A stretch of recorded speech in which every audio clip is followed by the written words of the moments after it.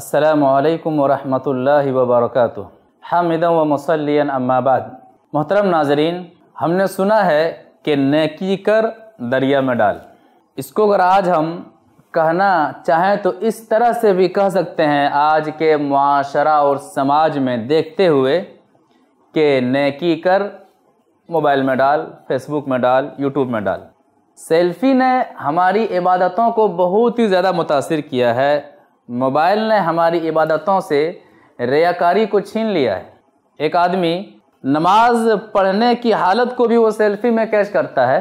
یہاں تک کہ قربانی کا جو بکرا ہے، اس کو جب خریدتا ہے، اس کا بھی فوٹو وہ سوشل میڈیا میں ڈالتا ہے۔ دکھاتا ہے کہ اتنے کا بکرا ہے، اتنے میں ہم نے خریدا ہے۔ صدقہ کر رہے ہیں، غریب، مسکین، محتاج کی مدد کر رہے ہیں۔ فوٹو لے رہے ہیں، سیلفی لے رہے ہیں اور اخبار میں ڈال دے رہے ہیں، سوشل میڈیا میں ڈال دے رہے ہیں۔ یہ کیا ہے یہ سب؟ اور تو اور، جو حج کرنے والے ان میں سے بعض حاجی حضرات ایسے بھی ہیں کہ حج کرنے جا رہے ہیں، سیلفی، جہاز میں بیٹھ رہے ہیں، سیلفی، اتر رہے ہیں، سیلفی، ابھی میں اتر رہا ہوں۔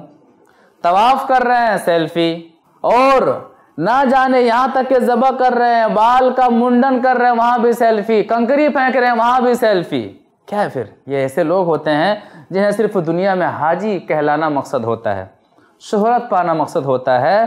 جیسے کہ چٹکلا مشہور ہے، کہتے ہیں کہ ایک حاجی صاحب بہت ہی زیادہ قرضہ لیے ہوئے تھے کسی دکان والے کا۔ حج کرنے تو چلے گئے، قرضہ دیا نہیں۔ واپس جب حج کر کے آیا تو دکان کے مالک نے سمجھا کہ شاید اب وہ قرضہ دے۔ وہ دوڑا دوڑا دکان کے مالک کے پاس آیا اور کہا، قرضے کی کاپی نکالو۔ کاپی نکالی گئی۔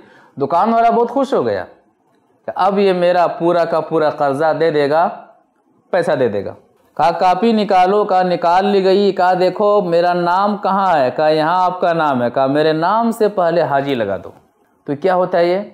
شہرت کا جب آدمی بھوکا ہو جاتا ہے، ہر نیکی کا مقصد اور ہر نیکی سے وہ دنیا ہی میں نام کمانا چاہتا ہے۔ ایسا نہیں ہونا چاہیے۔ یاد رکھیے گا، قرآن و حدیث کے مطابق آپ عمل کر رہے ہیں۔ شریعت کے مطابق آپ عمل کر رہے ہیں۔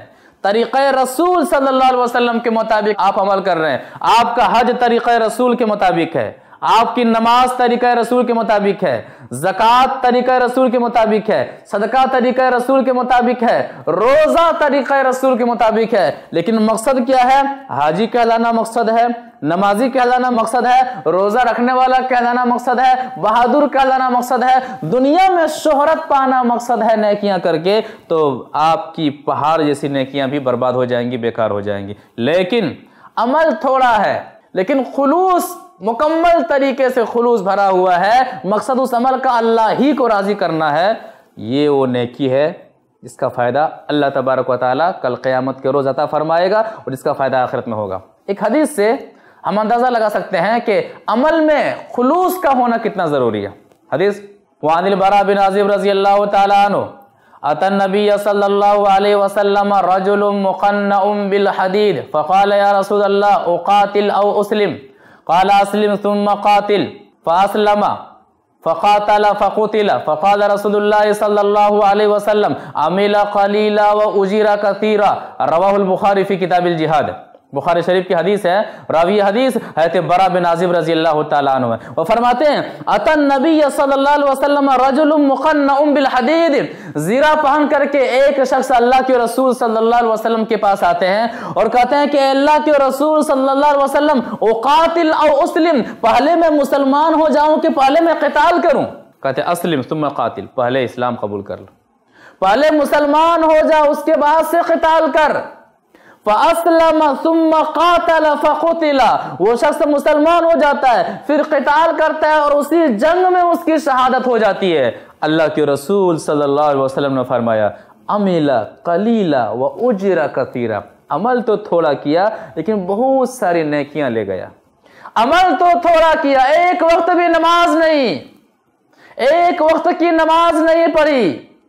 صدقہ نہیں کیا، روزہ نہیں رکھا، حج نہیں کیا، اور دیگر عمال نہیں کیے۔ اسلام لایا، میدان جہاد میں کودا شہادت ہو گئی۔ اللہ کے رسول صلی اللہ علیہ وسلم فرما رہے ہیں کہ کام تو بہت ہی تھوڑا کیا، لیکن خلوص بھرا کام تھا، اسی لیے نیکیاں بہت زیادہ وہ اپنے ساتھ لے گیا۔ محترم ناظرین، دیکھا آپ نے، خلوص عمل کا پیالہ اگر لبالب بھرا ہوا ہو اور اور خلوص عمل میں دنیاوی شہرت نہ نہ ہو تو اللہ تبارک و تعالیٰ کس طرح سے تھوڑے سے عمل کی نیکیوں کو بڑھا دیتا ہے، کس قدر کامیابی عطا فرماتا ہے؟ ضرورت اس بات کی ہے کہ ہم نیکیاں کریں اور نیکیوں کو خلوص و للہیت کے ساتھ کریں۔ دعا کہ اللہ تبارک و تعالیٰ ہمیں نیکیاں اللہ اور اللہ کے رسول صلی اللہ علیہ وسلم کے طریقہ کے مطابق کرنے کو توفیق عطا فرما اور ہر ہر عمل میں خلوص کو مد نظر رکھتے ہوئے ہمیں عمل کرنے کی توفیق عطا فرما۔ آمین۔ والسلام علیکم ورحمۃ اللہ وبرکاتہ۔ ایسے ہی اور ویڈیوز بنانے میں ہماری مدد کریں۔